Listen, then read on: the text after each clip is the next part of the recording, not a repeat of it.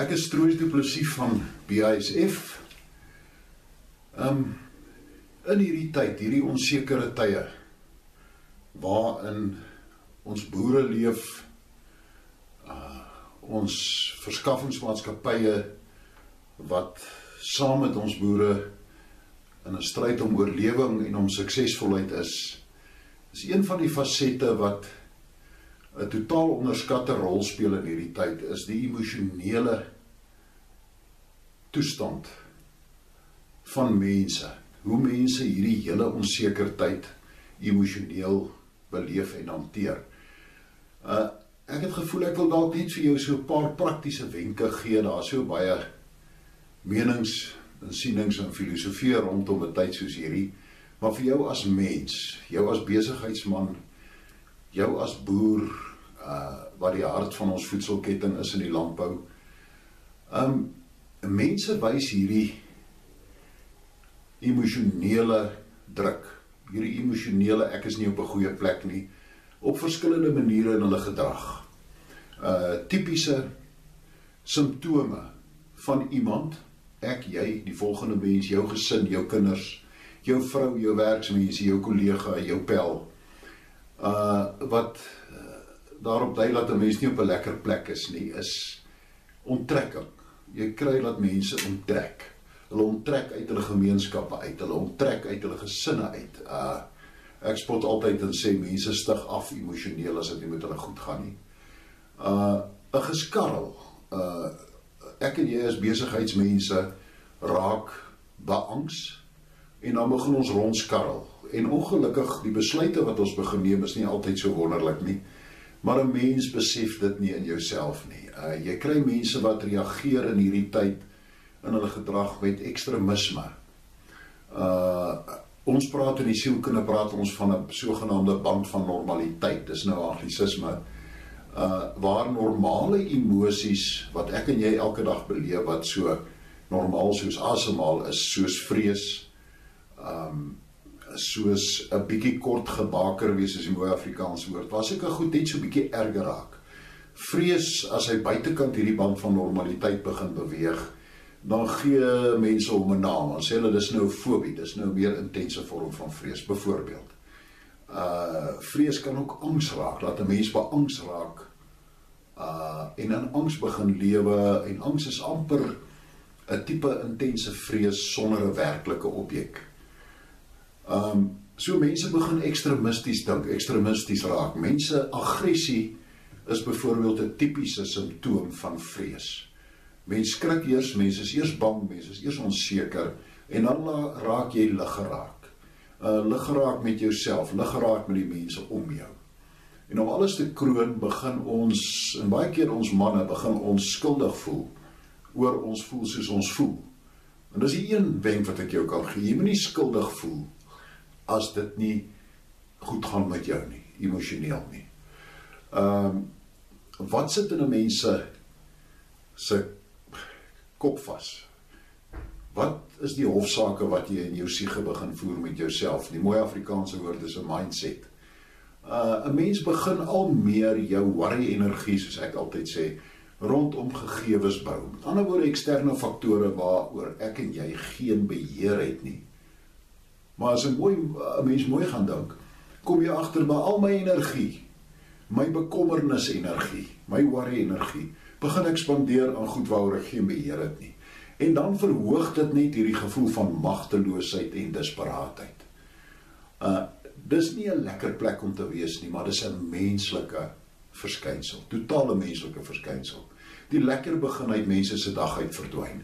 Mense begin kom ek baie keer agter in hulle gesels met uh, met my en met ander mense begin hulle al meer in die verlede leef of selfs in die toekoms. Hulle begin die toekoms veridealiseer. As dit nou maar net sal verander, dan sal ek ook nou weer lekker wees. Dan sal dit met my besigheid goed gaan met my.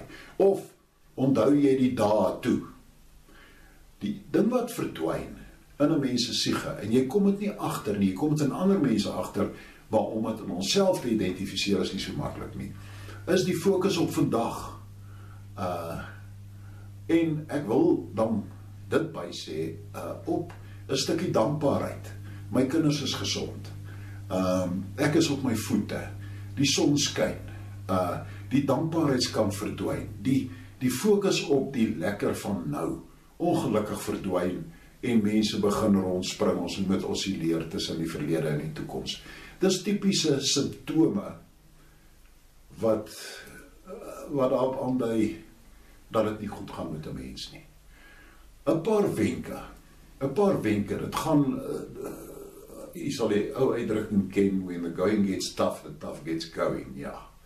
Ehm um, my eerste wenk in hierdie tyd is. Niemand kan dit wegwens nie, maar om nie jou emosie te probeer in die eerste plek ontken of wegsteek nie. Jy mag bang wees. Jy mag onseker voel. Uh en en as 'n mens miskien jou emosie op die oppervlakte sit want daar's ook 'n stukkie skaamte in hierdie ding, veral by die manne, is dat ek mag nie voel soos ek voel nie want dan's ek nou 'n sissie, nê. Um is om jou emosie te erken, jou onsekerheid, jou oorstuurheid, jou ek is onder druk. Uh in jouself te erken en nie daaroor skuldig te voel nie. In die tweede plek om daaroor te praat. Nou mense praat nie maklik nie, maar met die kameraad wat jy het. Dit kan 'n pel wees, dit kan jou vrou wees, dit kan jou man wees om te praat. Mense het 'n ongelooflike behoefte om te praat oor wat onder die oppervlakte aangaan, maar ons kom nie daarby uit nie. Dit is vir my amper asof ek baie daar my omswervinge by waar ek by baie boere kontak het en ook by by uh agente onder andere is dat uh, uh mense so half hierdie ding wil wegwens. Ons emosionele toestand rondom hierdie onsekere tye. Moet dit nie wegwens nie. Praat daaroor. Praat daaroor met mense wat jy voel ek kan gemaklik daaroor praat. Praat met my daaroor. Um nog 'n wenk wat ek vir jou wil gee is uh onthou daar's net vier primêre emosie areas in alle mense in die samelewing. Dis vrees. Dit is ondergestimuleerdheid of oorgestimuleerdheid. Dit is gevoelens van minderwaardigheid of meerderwaardigheid. En die vierde een, die onderskatte een is eensaamheid. Nie alleenheid nie, eensaamheid. En hierdie vier primêre emosies dryf 'n mens se emosionele hantering van jou eksterne wêreld. Uh as 'n mens hierdie vier primêre emosies of van hulle of die kombinasie van hulle in jouself kan herken, maar baie belangrik in ander mense kan herken, dan sal jou begrip vir hoe ander mense optree, hulle liggeraaktheid, hulle geïrriteerdheid, hulle aggressie, hulle onttrekking sal vir jou meer sin maak. En as jy met die primêre emosie werk, kom jy baie dikwels agter ons almal is maar ewe kwesbaar. Ons het party daar net 'n bietjie gerusstelling en 'n oor nodig wat ons kan help om dinge beter te hanteer en beter besluite te neem. My laaste wenk aan jou. Um Dis ongelooflike goeie terapie om in so 'n tyd na ander mense toe uit te reik. Uh ek weet 'n mens reik na ander mense toe uit om hulle te help. Maar weet jy wat? As ek na ander mense toe uitreik, vir ander mense luister, myself vir ander mense gee wat moeilik is, want nou gaan dit nie met my goed nie en ek het nou nog nie die energie ook en die tyd vir ander mense se moeilikheid nie. Maar dis terapie vir 'n mens self wat 'n mens nie kan glo nie. Dis terapie om uit te reik. Dit laat jou goed voel, dit laat jou goed voel jy maak 'n bydrae. Um 'n wenk moenie te ver vooruit dink nie. Lewe in die eerste plek fokus op vandag. Speel met vandag se kaarte. Nie met gister se kaarte en met môre se kaarte nie.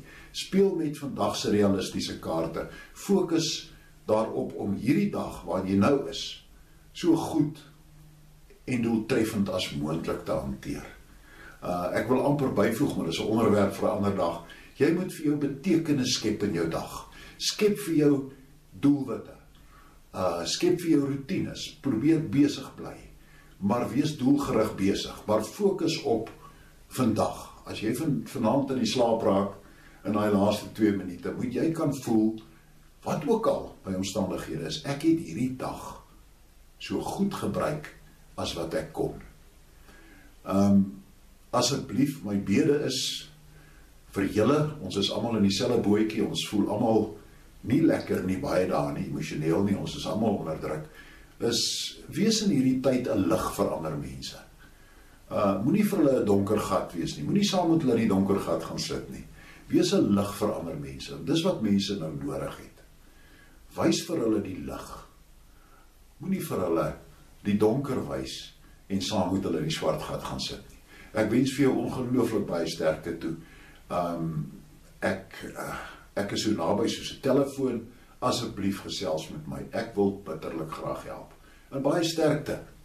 Uh ek het baie gevoel en baie liefde vir elke boer in hierdie land, elke agent in hierdie land. Jy moet 'n goeie dag hê. Vrede.